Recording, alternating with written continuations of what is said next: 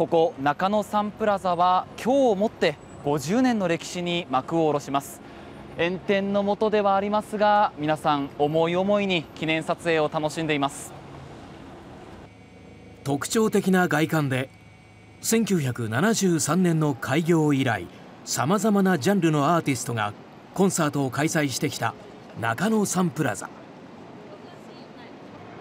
手持ちの温度計で34度を超える中別れを惜しむ人はこんな記念撮影も。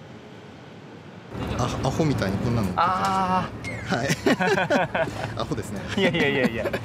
こういうコンクリートの建物でありながらこんなになんか愛着を感じる建物ってなんか今まであったかなって思うとそういう面ではすごくみんなから愛された建物であり施設なのかなというふうに思いました、はい、ひとときの涼を求めてこんな行列も。行列の先ではアイスの無料配布が行われています。発売50周年を記念して8000本が無料で配られているということです。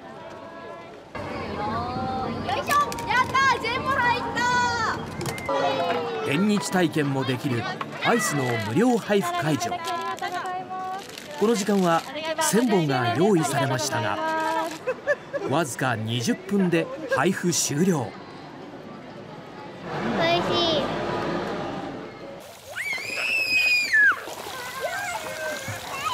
今日は全国的に天気が回復し30度以上の真夏日が続出しました。全国で最も気温が高くなったのは愛知県豊田市と三重県松阪市でともに35.3度。それぞれの県内で今年初の猛暑日となりました。記録的な大雨の影響で土砂崩れが起き行方がわからなくなっている男性の捜索が続く大分県。今日の大分県内は沖縄県以外では全国で今年初めてとなる熱中症警戒アラートが発表されました。いやーじめじめして暑いです。もうサウナ状態ですね街中。はい。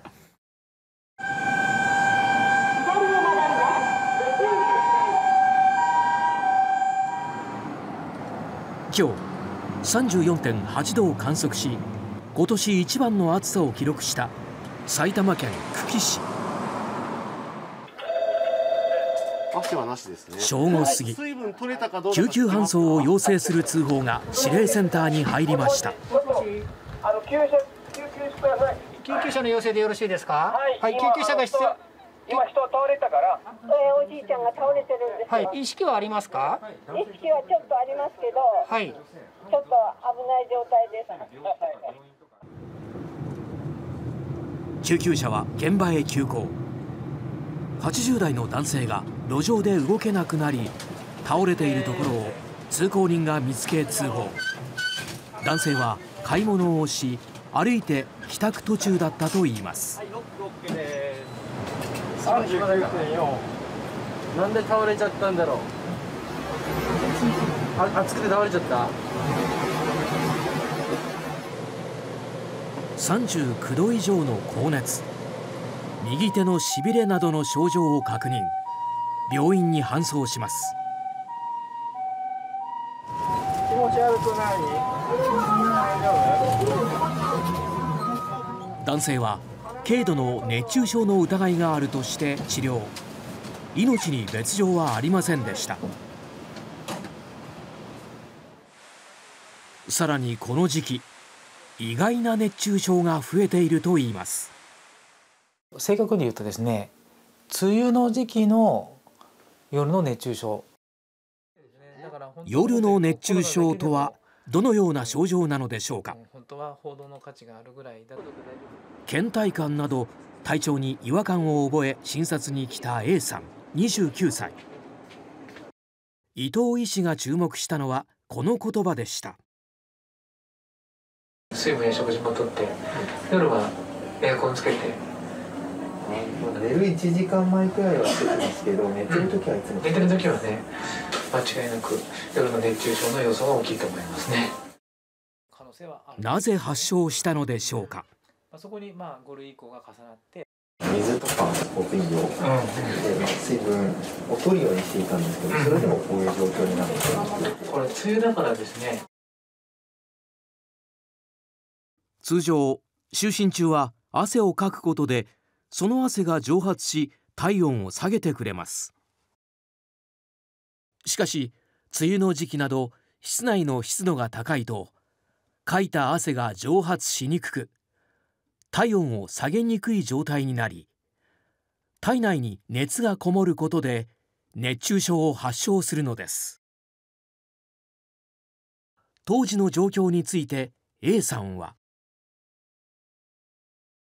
体調面の方が優先ではあるんですけども最近やっぱ電気代の話っていうのもあの高騰の話とかもあると思うのでつける必要もないかなってとこで消してることが多かったです。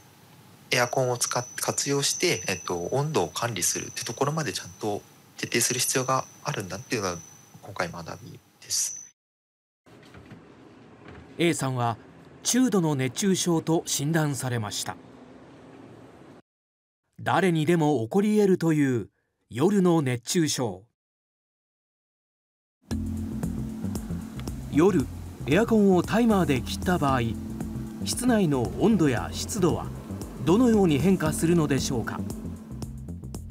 エアコンをかけ部屋の温度は25.2度湿度68%サーモカメラ映像で見ると室内は温度の低い青色の部分が多いのが分かります。1時間後エアコンのタイマーで電源がオフに。するとわずか30分後。サーモ画像でも室内は一面赤く反応しています。結果26.2度まで温度は上昇。湿度に至っては85%まで上がりました。梅雨の時期の夜の熱中症は温度も湿度も両方管理することがまあ重要だと。温度は25度から27度。それから湿度は50%から60%を目標にするとよろしいかと思います。ではどうすれば夜間の室温を効率よく下げることができるのか。外壁とか屋根にあの強烈な日射が外側に当たって蓄える。それが室内にじわじわ入ってくるんで。特にコンクリートの場合だと一回温まっちゃうとなかなか冷めない。昼間一番暑い時の太陽の熱がちょうど夜になって室内に大量に出てくる。伊香賀教授によると日差しによって温められた壁や天井が熱を蓄積し夜間になって室内に放出。その結果部屋の温度が上昇するというのです。夏の1日の気温と室温の変化を見ると木造住宅の場合気温の変化とともに室温も下がっていくのに対しコンクリート建築の場合は翌朝5時まで31度前後とほとんど変わっていないのです。